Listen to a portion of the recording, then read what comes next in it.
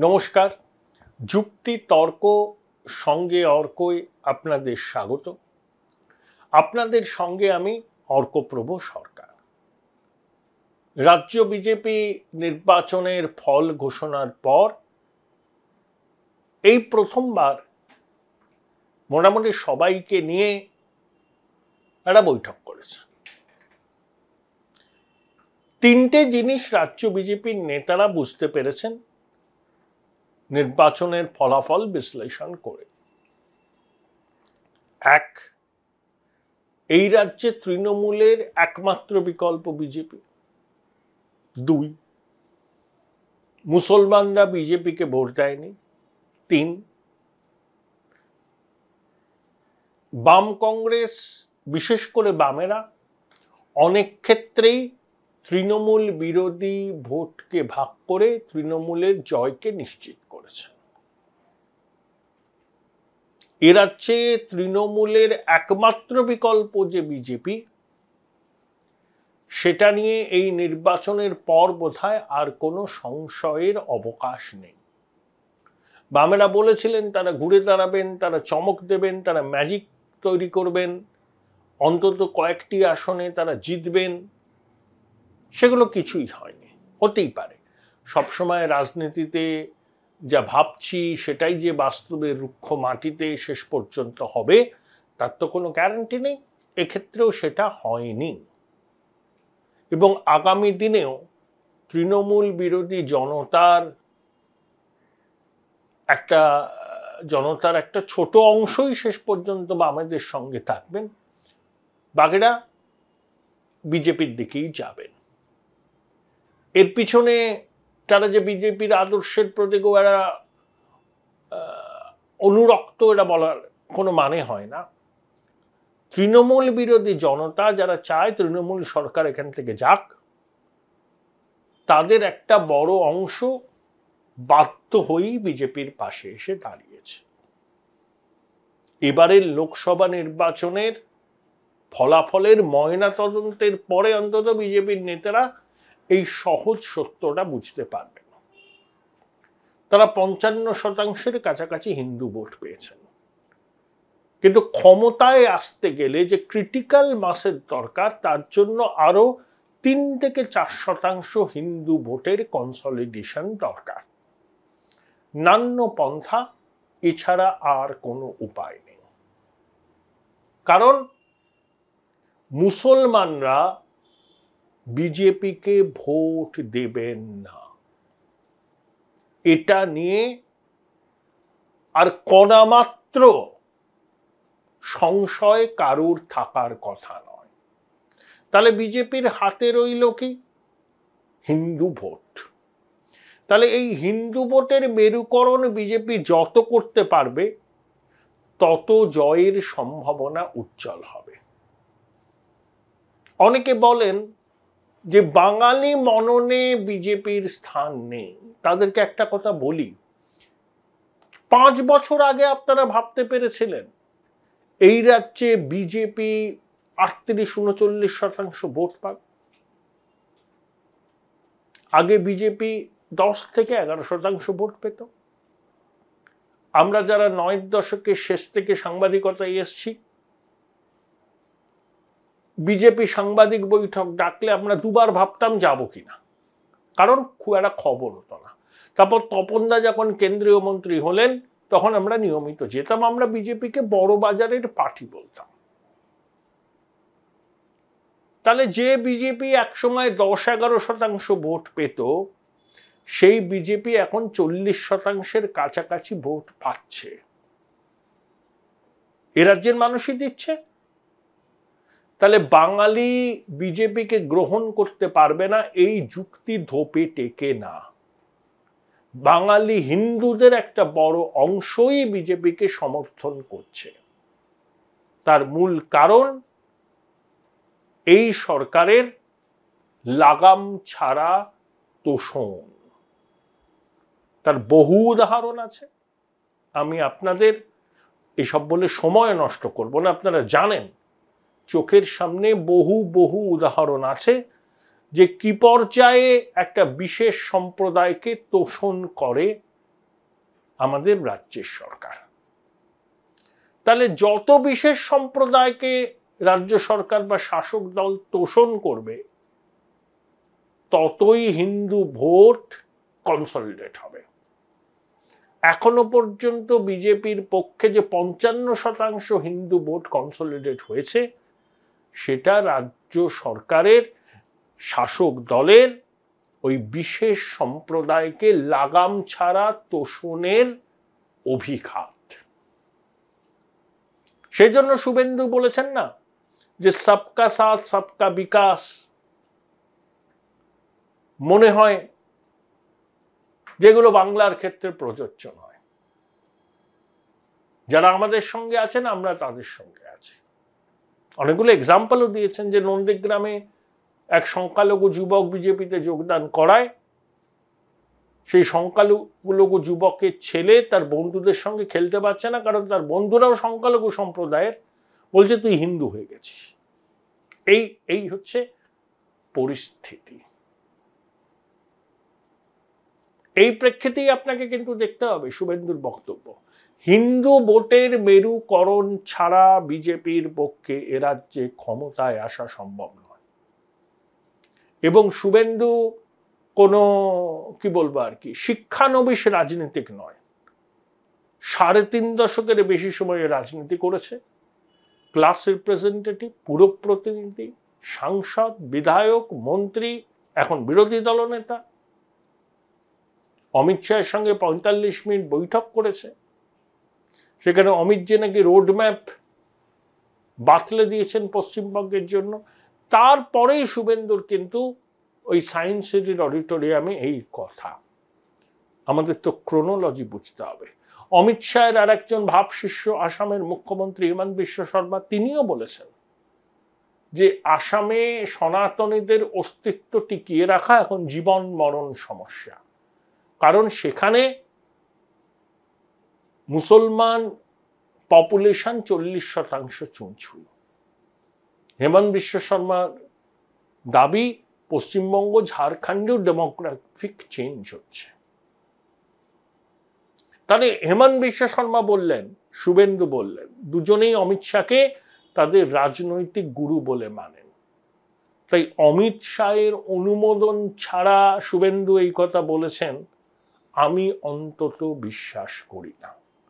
এবং সায়েন্স সিটিতে সেদিনকে যারা উপস্থিত ছিলেন তারা শুভেন্দু যখন বক্তব্য রাখছেন তখন করতালি দিয়ে তাকে অভিনন্দন জানিয়েছেন এবং মঞ্চে বসে থাকা অনেক নেতাও হাততালি দিচ্ছিলেন Join Indian Institute of Hotel Management now. Right choice, right decision.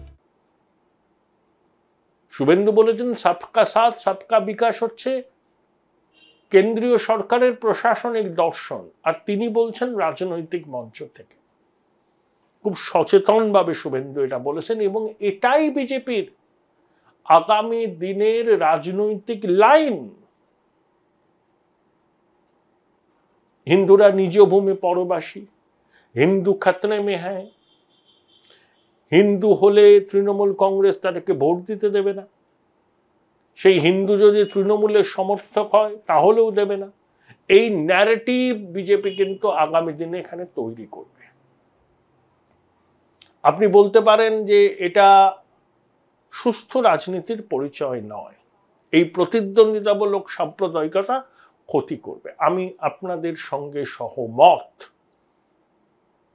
এই প্রতিদ্বন্দ্বিতামূলক সাম্প্রদায়িকতা আখেরে বিষ বৃক্ষের জন্ম দেবে এবং যে সুপ্ত আগ্নেয়গিরির উপর আমরা বসে আছি অগ্নুৎপাত হয়নি, এটা আমি বলব ভগবানের আশীর্বাদ। কিন্তু যা চলছে, এই প্রতিদ্বন্দ্বিতামূলক সাম্প্রদায়িকতার নামে, যদি এই সুপ্ত আগ্নেয়গিরি থেকে সুপ্ত আগ্নেয়গিরি কখনো জেগে ওঠে। তাহলে তার দায় কোনো রাজনৈতিক দল এড়াতে পারবে না। যখন হুমায়ুন কবিরের মতো একজন বিধায়ক বলেন যে মুর্শিদাবাদ জেলায় তিরিশ শতাংশ হিন্দুকে ভাগীরথীর জলে ফেলে দেওয়া হবে, শাসক দলের একজনও প্রতিবাদ করেন মুখ্যমন্ত্রী একটা কথা বলেননি। সংযত হতে বলেননি শোকস করেননি। তার প্রিয় পাত্র ফিরাদ আকিম যখন বলেন যে মুসলিম না হলে সে দুর্ভাগা, এরকমই আর কি, আমি অত ডিটেলস বললাম না, দুর্ভাগা। তখনও কেউ কোনো প্রতিবাদ করেননি শাসক দল। ববি হাকিম বলেছেন, তার অসাম্প্রদায়িক ক্রেডেন্সিয়াল নিয়ে কোনো প্রশ্নই তোলা যায় না। তিনি চেতলা, অগ্রণীর পুজোর প্রাণ পুরুষ কলকাতার রাস্তায় এবার দেখবেন আবার সেই বড় বড় হোর্ডিং হবে। বিশ্ব জননীর চক্ষুদানে বঙ্গজননী কিন্তু ববি আকিম এটা বলেছেন, তখন হাততালিও পড়েছে।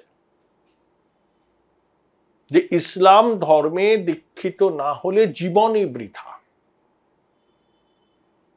অর্থাৎ বার্তাটা স্পষ্ট, কেউ প্রতিবাদ করেনি। এই যে ওই বিধায়ক চোপড়ার হামিদুল, যখন জেসিবি একজনের উপর অত্যাচার করল, তখন সেই হামিদুল জেসিবির সমর্থনে বলল যে, আমাদের ইসলামিক দেশে এরকম হয়েই থাকে। দেশটা ইসলামিক দেশ নয়, এখানে সারিয়াও চলে না। এটা গণতান্ত্রিক ধর্মনিরপেক্ষ ভারতবর্ষ। তৃণমূল নাকি হামিদুলকে শোকস করেছিল। সেই শোকসের জবাব পেয়েছেন? কি ব্যবস্থা নিলেন? এগুলো হচ্ছে লোক দেখানো। সংবাদ মাধ্যমেরও দৃষ্টির আড়ালে চলে গেছে, হইচই হচ্ছিল বলে বিতর্ক ঠেকাতে লোক দেখানো শোকস করা হয়েছিল হামিদুলকে। পশ্চিমবঙ্গের মানুষ এগুলো বোঝেন। তাই রাজ্যের শাসক দল যখন একটা বিশেষ সম্প্রদায়ের একটা অংশের সাম্প্রদায়িকতা নিয়ে কোনো সদর্থক পদক্ষেপ গ্রহণ করতে দ্বিধাবোধ করে, ভাবে যদি পদক্ষেপ নিই তাহলে ভোট ব্যাংক অসন্তুষ্ট হবে। ঠিক সেই পলিটিক্যাল লাইনকে কাউন্টার করতেই বিজেপির এই হিন্দু হিন্দু করা। হিন্দু কনসলটেশন হিন্দু খাত্রে মে হ্যাঁ হিন্দু নিজ ভূমে পরবাসী। শুধু প্রতিষ্ঠান বিরোধিতার হাওয়াকে সামনে রেখে ছাব্বিশের নির্বাচনে তৃণমূল কংগ্রেসের বিরুদ্ধে পনেরো বছরের প্রতিষ্ঠান বিরোধিতার হাওয়া থাকবে। কিন্তু শুধু প্রতিষ্ঠান বিরোধিতার হাওয়াকে পুঁজি করে বিজেপির পক্ষে এখানে কামাল করা সম্ভব নয়। কারণ প্রতিষ্ঠান বিরোধী ভোট একটা অংশ বাম কংগ্রেসের দিকেও যেতে পারে। সেটা নেগলেজেবল হলেও কিনলি কন্টেস্টেড কেন্দ্রগুলোতে ভোট কাটাকাটির সুবিধা শাসক দল পাবে। তাই শুভেন্দুরা ওই লাইনটাই নিচ্ছেন। যে হিন্দুরা নিজ ভূমে পরবাসী, অর্থাৎ লেফটের হিন্দু সমর্থক, কংগ্রেসের হিন্দু সমর্থক, এমনকি তৃণমূল কংগ্রেসেরও হিন্দু সমর্থকদের মনে একটা আশঙ্কা, ভয়ের বাতাবরণ তৈরি করা। নির্বাচনী প্রচারে রাজ্যের শাসক দল কি বলেছে? যে বিজেপি আসলে ওই বিশেষ সম্প্রদায়কে এখান থেকে বার করে দেবে? নানা কথা বলেছে, ভয়, ভীতির একটা তৈরি করেছে তারা, মনস্তত্ত্ব। ঠিক সেটার কাউন্টার করতেই এবার হিন্দুরা নিজ ভূমে পরবাসী, হিন্দু খাতনে মেহায় বিজেপি এটা করছে। অর্থাৎ তৃণমূলের বিশেষ সম্প্রদায়কে তোষণের পাল্টা হিন্দুরা নিজ ভূমে পরবাসী, এই লাইনটা বিজেপি সামনে আনলো বিধানসভা নির্বাচনের পৌনে দু বছর আগে। শুভেন্দু এমনি এমনি বলেনি, এটা পরিকল্পিত রোডম্যাপ এবং বিজেপির কেন্দ্রীয় নেতৃত্বের অনুমোদন। দেখুন, অসমের মুখ্যমন্ত্রী হিমন্ত বিশ্ব শর্মা মুসলিমদের বিবাহ এবং বিচ্ছেদের যে আইন ছিল আসামে সেটা বাতিল করেছেন। যুক্তির নাবালিকা বিয়ে রোখা। মুসলিম মেয়েদের বিয়ের বয়স তাদের নিজস্ব নিয়ম অনুযায়ী অনেকটা কম। তাহলে নাবালিকা বিয়ে বাড়ছে?